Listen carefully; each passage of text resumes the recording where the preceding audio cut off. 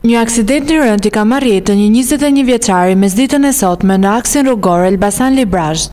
I riu i identifikuar si Rei Palloshi ka humbur drejtimin e mjetit me të cilin udhëtonte dhe ka përfunduar jashtë rruge në fshatin Mengël.